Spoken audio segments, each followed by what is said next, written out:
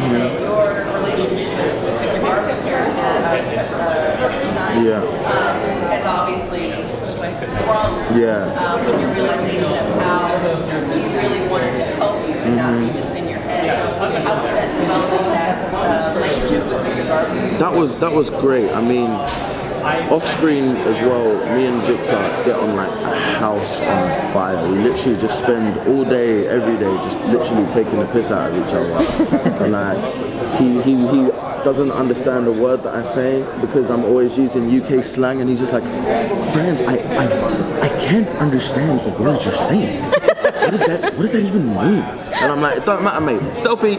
And he's just like, can you not? He's great, man. I love him. Um, so yeah, with, with with our character, you know, it was really nice to kind of we start off at such loggerheads, and we're, we're like completely different different people from from such different backgrounds and different different ways of life, and we really kind of come together and we have a really nice relationship as the series progresses. It's, it's got this sort of um, like father-son kind of bond, and it's, it's really nice to play that, and, and and especially to work with Victor, who's such an amazing amazing actor. It's great. Oh, yeah. Great. To ask you about a particular episode where you get mutated into the hawk creature. Into the what hawk. was it like kind of transforming into that doing the prosthetics? So the prosthetics took uh, like four and a half hours, four and a half hours, five hours, something like that, which was which was long, which was um, but but yeah, it was so much fun, so much fun just to play this this weird like scary hawk creature thing.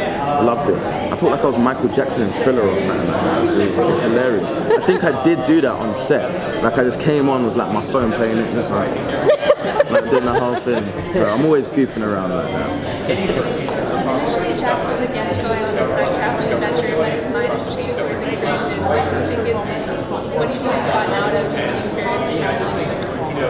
I think that Jax has learned that the world isn't isn't black and white.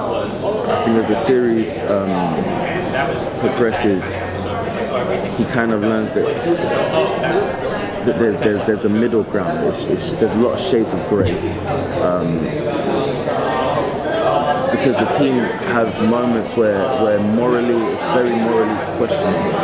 It's like, do we do this for the greater good, or is that are we going down the wrong path? Um, and I think for Jax, he starts off very green, very naive in, in his thinking, very young, and and yeah, he kind of learns, he kind of grows up and learns what it takes to kind of be a hero and the tough decisions that need to be made for, for the greater good, I suppose. So yeah, he definitely grows up as the series goes on. Are there any alternate universes from the comics that you would like to see?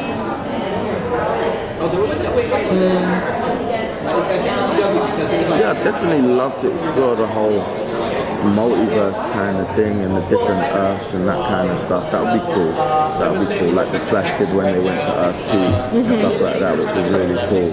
And you had Deathstorm and stuff like that, which was dope. Um, so I'd love to see that. I'd love to see Firestorm do a version of like Fury or something like that, where he turns into Fury and stuff like that. That would be pretty cool. That's gonna be my pitch for like season two or something. It would be kind of cool to see the different places that you could have been in the different universes, like if you Yeah, had for Hercules sure. or For sure. Yeah, for It'd It would definitely be something fun to explore. Yeah. Now that uh, Ray and Kendra are kind of together, is Jax giving up on that? Burn. Damn it! Missed my shot. I didn't shoot my shot. I should have shot my shot. No. Um, yeah, yeah. Jack, Jack's is a little miffed by it at first, but um, but yeah, he comes around and and that whole yeah. Can't give away too much, but um, yeah. Um, what episodes are you to that have been shot that haven't aired yet? Is there anything in particular about your storyline that you're very excited to see? Yeah, I'm very excited. Um, we explore, we explore kind of Jax's kind of family, family, and, and, and his parents and stuff like that. And I believe that is episode that one.